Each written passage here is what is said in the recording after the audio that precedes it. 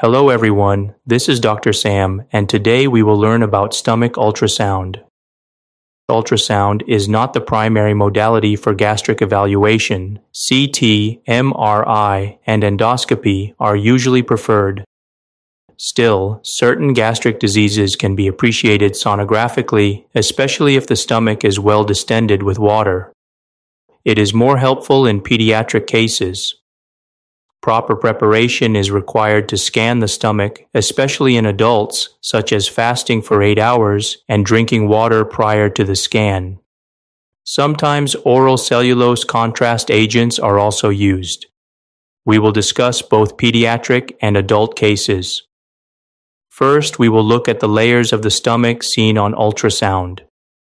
The layers and their appearance are similar to small bowel. These images show the normal antrum of the stomach in transverse plane. The lumen is filled with fluid, which is why it appears mostly anechoic. This image is obtained with a high frequency linear probe with good image quality. We are able to see all the layers separately. Starting from the innermost layer, the superficial mucosa appears echogenic. This echogenic layer is also the interface between the stomach fluid and the mucosa. This is the first layer. The second layer is the deep mucosa. This layer is hypoechoic. The echogenicity alternates between hyperechoic and hypoechoic layers. After the deep mucosa, we have the submucosa, which will be echogenic. The fourth layer is the muscularis propria, or simply the muscularis. It is hypoechoic and is usually the thickest layer of the stomach. The outermost layer is the echogenic serosa. This echogenic line is the serosa. Both the innermost and outermost layers are echogenic. The innermost mucosa is echogenic, and the outermost serosa is also echogenic. We will also look at the five layers in this image as well. You can see the innermost echogenic layer, the superficial mucosa, followed by the hypoechoic deep mucosa. Then we have the echogenic submucosa. The fourth layer and the thickest layer is the muscularis, and the outermost layer is the serosa. The image on the left shows the antrum of the stomach. It was empty, so it had a collapsed appearance. Correct wall measurement is not possible in an empty stomach. When the stomach is distended with water, then we can take the measurements. This image is of a 10 year old child. It is in the longitudinal plane. We can also see the liver here. The image on the right shows a distended antrum with hypoechoic gastric contents. This image was also obtained from a 10 year old child. Usually, if the stomach is distended, you may find dirty shadowing which will obscure the image. So, the best way to visualize the stomach is making the patient fast for 8 hours and the stomach is filled with water. Or an oral contrast agent. Simply water is enough in most cases. It is also easier to scan the stomach in infants and children. This image is of an adult patient. We are seeing a water-filled antrum in the longitudinal plane. It is filled with water which acts as a good acoustic window and contrast. The lumen is hypoechoic with some small air bubbles. This is a normal appearance. We can make out some of the layers, the antrum and the pylorus of the stomach are usually scanned on ultrasound when there is an indication. This image shows the normal pylorus in an infant. And this image shows a normal pylorus in an adult patient in the transverse plane. The normal pyloric wall thickness in adults is between 3 and 8 millimeters.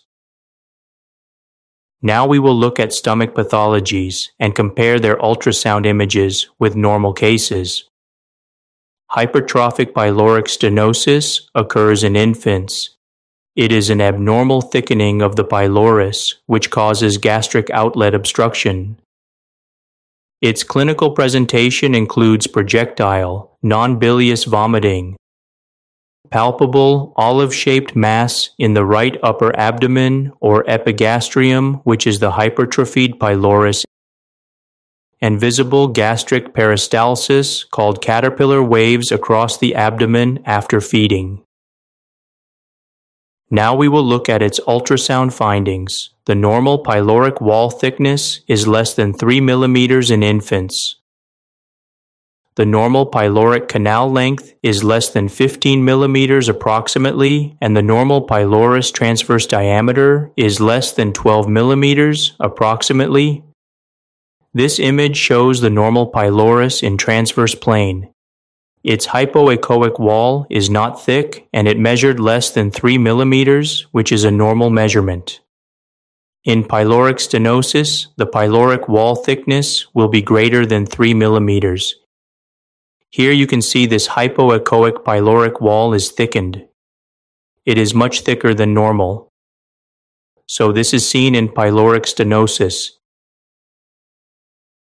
This appearance is termed the target sign and also the donut sign. It is the classic transverse ultrasound appearance of hypertrophic pyloric stenosis. In a normal pylorus, we will not see a donut sign or target sign. These are longitudinal views focusing on the pylorus in infants. On the left is a normal image showing the pyloric canal. The normal pyloric canal length is less than 15 millimeters. The pyloric transverse diameter is less than 12 millimeters. In the image on the right, we see a thickened, enlarged pyloric canal. The muscle wall thickness can also be measured in this view. It is greater than 3 millimeters. You can see that it is thickened. This hypoechoic layer is very prominent. The canal length in such cases is usually 15 millimeters or even greater. It can even be 20 millimeters depending on the severity. In pyloric stenosis, the transverse diameter of the pylorus is greater than 12 millimeters in infants. The pyloric volume will be greater than 1.5 cubic centimeters. This appearance of the enlarged pyloric canal is called the cervix sign because it resembles the uterine cervix on ultrasound. You can see the similarity between the cervix and the hypertrophied pylorus. Another sign seen in the same image is the antral nipple sign. It refers to this protrusion of the pyloric mucosa into the gastric antrum. This pyloric mucosal protrusion is another sign seen in pyloric stenosis. Bezoar refers to indigestible material such as hair and plant fibers that can cause obstruction in the gastrointestinal tract. Here is a case of a gastric bezoar in a pediatric patient. On ultrasound, a bezoar can appear as an intragastric mass with a hyperechoic surface, which often produces clean posterior acoustic shadowing you see a hyperechoic arc with black posterior shadowing. This is usually how a bezoar appears. Here is another case of a gastric bezoar. The stomach is filled with a hyperechoic shadowing structure. It has a hyperechoic surface with a dark shadow. Here is a case showing gastritis. Normally, ultrasound is not performed for such cases. The main feature of gastritis is increased wall thickening. This is how a normal antrum appears. The normal antral wall thickness in adults is less than 5 millimeters. This image shows a case of H. pylori gastritis. You can see the increased thickness of the antral wall. It measures more than 5 millimeters. This image shows the body of the stomach in the transverse plane. This image is taken after the patient ingests an oral cellulose contrast agent, which makes the stomach lumen echogenic and outlines the wall. It is easier to scan it with the contrast agent. It gives the lumen a homogeneous appearance. In this image, we have a case of a gastric ulcer. This image is also taken after intake of oral contrast agent. Ultrasound is not the primary modality for gastric ulcers. However, there is one feature which can help in initial evaluation for gastric ulcers. The normally hyperechoic appearing superficial mucosa is replaced by a hypoechoic layer.